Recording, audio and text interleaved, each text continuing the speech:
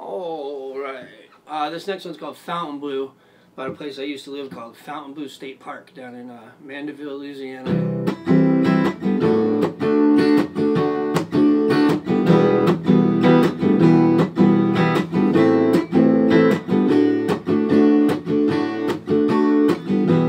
That's when I worked in the Coliseum. That's when I rode past the Superdome.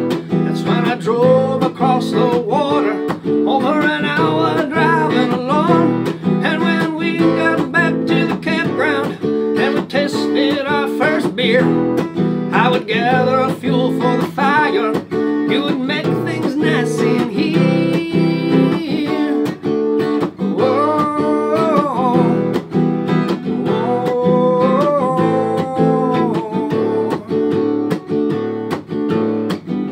Sweet Daddy's Cajun barbecue was the next thing we would do. I worked as a cook in the back on the